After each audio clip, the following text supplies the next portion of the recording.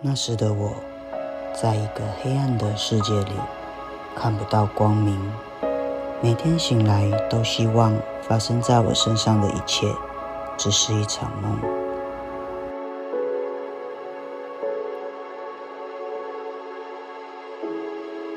在梦境里，我渴望着爱与被爱，但现实却是无止境的暴力。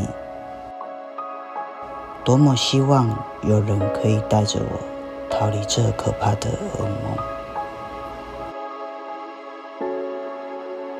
近十五年，十八岁以下受虐儿人数每年平均落在一万两千多名，而我是藏匿在那片汪洋数字底下的黑数。我的爸爸是名消防员。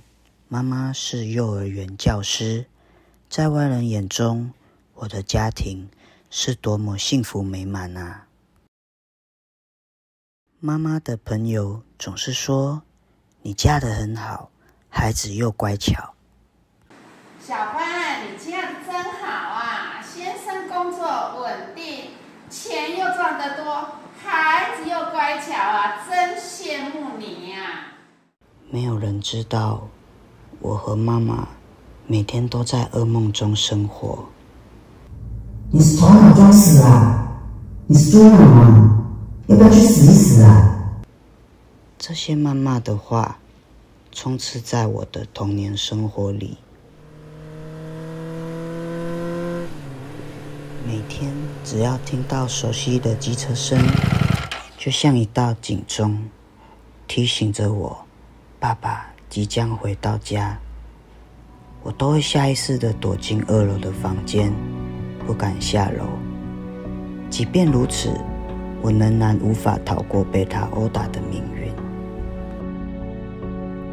我的爸爸整天沉迷于吃喝嫖赌，回到家就是开始摔东西，接着继续对我动手。对你们来说。平常见惯的物品，却是爸爸时常拿来打我的东西。妈妈常常为了保护我而一同遭受殴打。妈妈哭着对我说：“孩子，妈妈对不起你，让你每天活在恐惧中。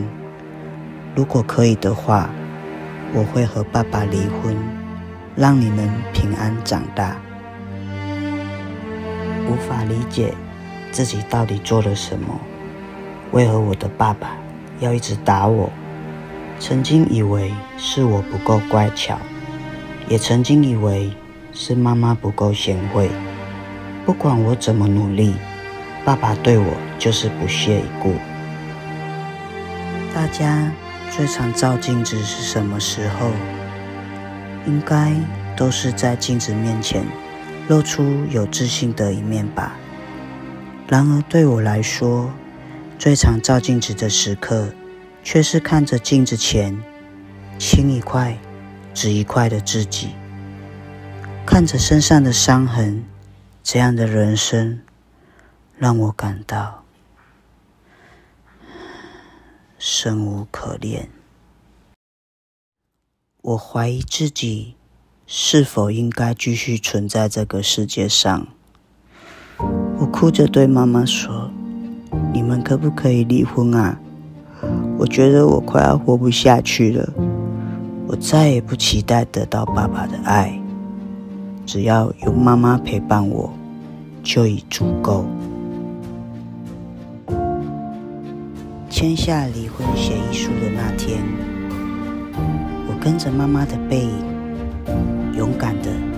踏出那个充满暴力的婚姻。虽然我遍体鳞伤，当我感受到妈妈的爱，我想，如果我变坏了，那妈妈怎么办？我努力成为护理师，不断的精进自己。因为这一切，我想要好好活下去。我希望妈妈幸福。所以我决定变得更加坚强。在工作第四年，我被派到急诊支援。当时在班内看到受暴妇女及儿童被送来医院，看见他们受暴的伤痕与反应，内心深藏的危险记忆再度被触发。当下，我感到全身发抖，直冒冷汗。突然间，我意识到，那个不是我。我想要帮助曾经受伤的自己，也想帮助更多和我一样有家暴经验的人。我开始参加防暴宣讲人员的培训课程，运用所学去宣讲。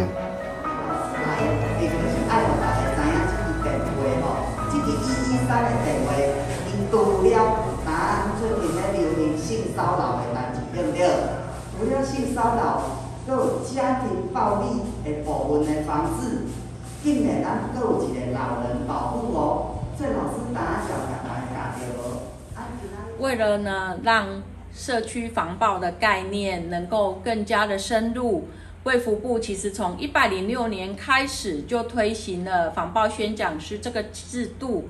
那我们高雄市呢，也在一百一十年开始呢，自己办培训的课程。那希望呢，就是借由社区防暴宣讲师深入每一个社区，去把性别暴力乃至于家庭暴力防治的观念能够更加的深入。社区防暴是我毕生的使命。我今天我的小孩来打我第一次的时候，我要不要赶快就通报？老师问大家，要不要赶快通报？嘿，没错，一定要哦。因为今天哦，老人不耐打，打了一次不知道哪边裂掉了，啊，你都不知道呢，对不对？跟大家简单介绍一下我们女权会。那我们女权会其实一直也是高雄的在地的性别团体。那我们其实主要的成员的老师们，其实都是来自于性别专业领域的。那我们这几年来，其实就是到社区，然后跟长辈谈，例如说多元形态家庭，或者是性，或者是性别暴力防治的议题。那瑞彤老师其实就是我们女权会社区讲师一直以来合作的老师这样子，然后其实也很谢谢老师，因为老师其实他会运用一些，老师本身呢就老师本身的气质就是非常的活泼，然后呢非常的接地气，所以其实很多长辈其实在上除了上课之余，其实呢也是好，也是其实还蛮开心，也享受这堂课，而且此外其实老师本身自己也有护理师的背景，所以他其实也会带一些运动，所以其实。让长辈除了学习一些性别暴力防治的议题以外，其实他们也会接受到一些，例如说长照啊、保健的议题，这样子，就是让大家在社区的教学课程中，就是。有有的玩，然后又有的学这样子，然后我们也一直都非常的谢谢老师，然后也希望说女权会之后也跟老师一起努力下去。呃，比较知道说我们对于女性要怎么去尊重，有没有尊重各式各样的人体，然后也不要去呃去性别不要去歧视，然后要去尊重她的。然后性骚扰就是我们在职场上遇到性骚扰的话，可以去找找什么沟通的方式。听完家暴防治的宣讲后，让我想起隔壁邻居之前发生的故事。原来当时他们家发出的打骂声响，就是暴力的一种对待方式。如果我早点知道一一三专线的运用，也许就能帮助隔壁跟我同龄的孩子免于可怕的经历。会当保护老人，会当哦，较袂用受内啦，吼，也是这个互人照顾有啥问题，咱甲政府迄个算讲提供足侪资源。咱的厝边隔壁若拄着即种情形，伊若毋知，咱嘛是有哪会当甲伊介绍，会当甲伊、甲伊、甲伊说明吼，安尼大家会加足方便。二次暴力事件从你我开始，别忘了，如果身边人遇到同样的事情，记得打一一三专线。我借着自身经历和更多人分享。坦然面对自己过去的伤痛，将这段过程转换成身体力行的教材。从一开始宣讲时的颤抖，慢慢的增加勇气与信心。我带着感谢、感恩每一位曾经帮助过我的人。希望未来不再有暴力事件的发生。相信我们可以一起共创零暴力的美好生活。